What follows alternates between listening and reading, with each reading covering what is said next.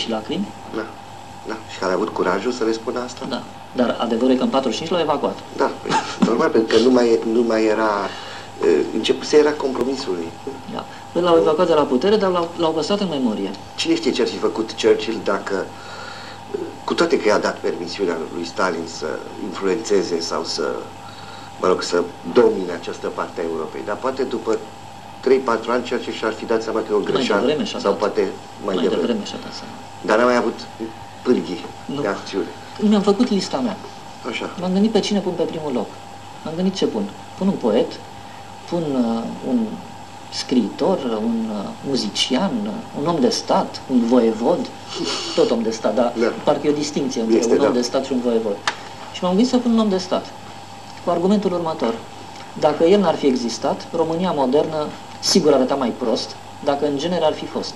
Și Da. ăla e Carol I. Carol I, fără, fără discuție. Fără Și după discuție. ce l-am numit spontan pe Carol I, m-am amuzat extraordinar că pe lista mea, cel mai român, cel mai mare român, este un etnic neamț. Corect. Corect, Ceea da. ce înseamnă că te poți califica la această categorie Da. prin faptele pe care le-ai făcut Apro- pentru România. Apropo de Horov, că am spus că este cel mai Da. mare regizor român uh, Clar. dintre cei care nu mai sunt printre noi. Uh, Da, e Carol I, sigur, dar trebuie ne apropiem și de Brătieni, ne apropiem și de Titu Maiorescu, ne Pentru că apropiem... brătienii joacă de fapt funcția în lista ta pe care în lista mea îl joacă Carol I. Exact.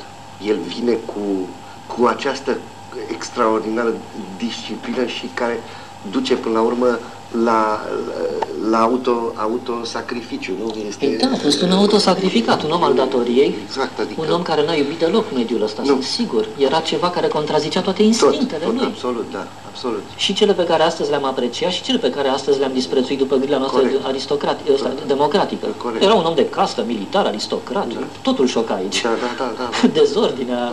Deci a fost un act de martiraj, Da.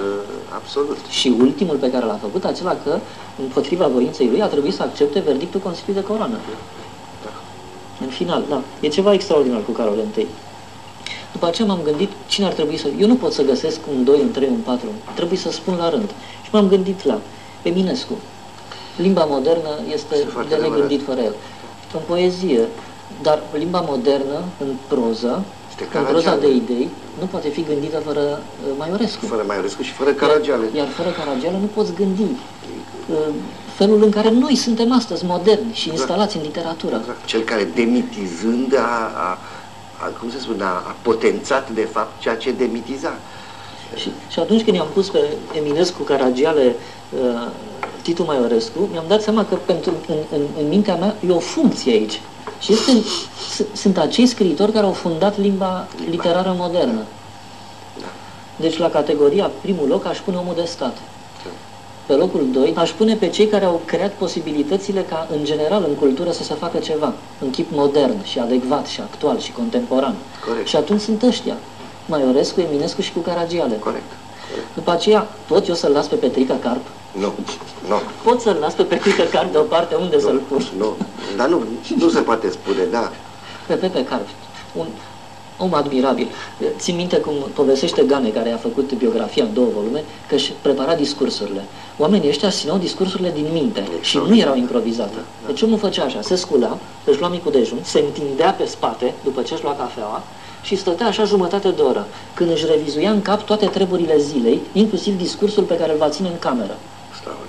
Extraordinar. Asta n-am știut. Să mă gândesc că el a ținut marele discurs acela de politică externă, în care a spus că mergem cu Germania pentru că suntem împotriva Rusiei. Corect. Și că dacă se prăbușește Germania, Rusia ne termină, care e ultimul, e cântecul lui de Lebădă, Lebădă și e da. profetic în cel mai înalt grad și l-a făcut pe Titu Maiorescu, care a scris pe Elo Vinescu, care a scris împotriva lui, Da. lui Petre Carp, să spună în anii lui târzii când a făcut ciclul junimist și era pe moarte, să spună că s-a avut înșelat dreptate. el, Elo Vinescu, și că Pepe Carp a avut dreptate. Deci să mi-l imaginez pe, făcându-și de acel discurs în cap, întins pe spate și gândindu-se la treburile zilei. E ceva. Formidabil. Se vede mai bine universul din poziția aia. Extraordinar. Deci Extraordinar. poți să-l las pe Petrică Nu. Carp undeva? Nu pot. Nu. Poți să-l las pe Elo Vinescu? Nu. Omul ăsta de echilibru, de cultură clasică, cu fraza lui latină, în limba română. Da. Omul ăsta care era etic, în mod fundamental și a impus criteriul estetic de judecare a faptului cultural. Cum poți să-l Și e lași singurul, de pe Elo fapt. Vinescu deoparte? E singurul, de fapt. Dar vorbim de, uh, cum să spun eu, de, de figuri formidabile, dar tot locale. De ale noastre. E o listă parohială. Da, asta e, parohială, foarte frumos. În lista asta pe care o am eu, neparohial, este, pentru că e mai cunoscut, este Mircea Eliade. Corect. Pentru că eu personal nu pot să-mi concep adolescența fără Și el. eu la fel. Mie mi-a schimbat viața un articol, și anume Folclorul ca instrument de cunoaștere, un articol care a apărut în revista Fundațiilor Legale în 1937 și l-am citit în clasa 11 la Biblioteca Centrală de Stat. Afirmația simplă a lui Eliade în acel articol este următoarea. Faptele de fol- din folclor și din mituri nu trebuie interpretate ca fiind fantezii, ci ca fiind instrumente de cunoaștere și vestigii ale unui tip de abordare a lumii, cognitiv și experimental, pe care noi l-am pierdut. Prin urmare, citiți folclorul, dragii mei, ca pe un instrument de cunoaștere. Formidabil. Mie mi-a schimbat... Mi-a schimbat viața asta. Da, da, da, din, din Eliade. uh, Primul contact l-am avut cu uh, o, o novelă care uh, pentru mine a, a devenit o, lumea pe care o descrie obsesivă în Care a perioada Nopți la Serampore. Da, da, da. da.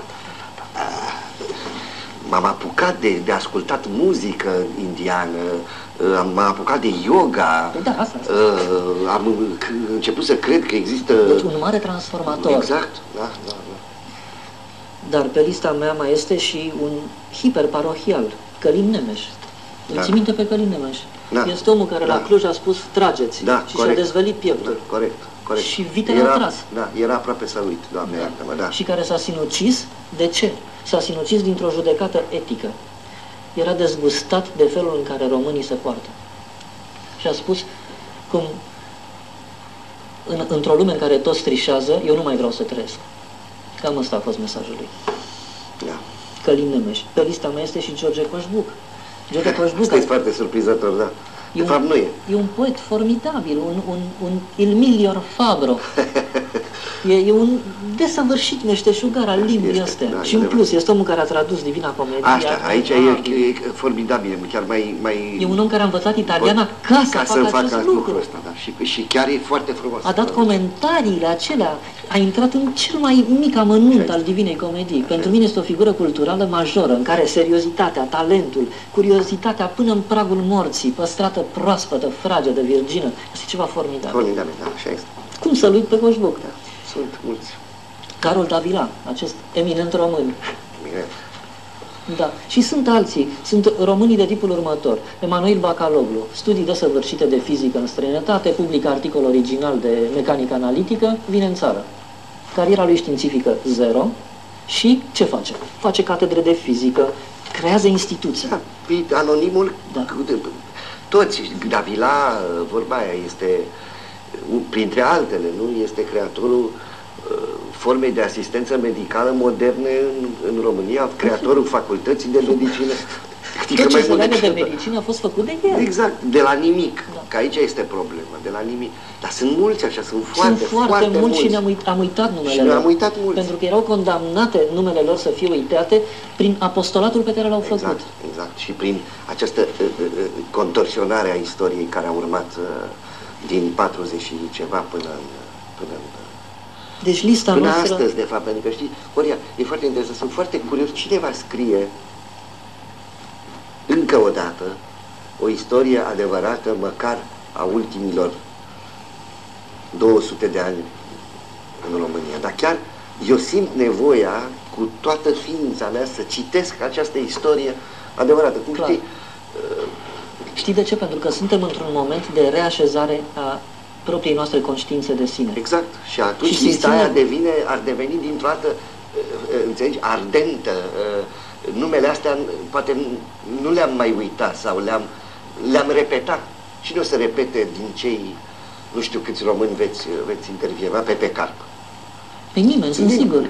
Uiți! Da, Uh, pentru ca să-l Nu-ți mai știi, aduce aminte. ca să-l știi pe Carp, trebuie ca profesorii de istorie să vorbească despre el. Ca să vorbească profesorii de istorie despre el, ar trebui ca aceia să aibă o idee despre ce înseamnă să faci politică în mod demn, comparabilă cu cea pe care Carp o avea. În orice caz, televiziunea e lansată în întrebarea cel mai mare român din toate timpurile. Ce o să iasă? Să vedem. Să vedem. Îți mulțumesc, Ducu. Foarte mare drag.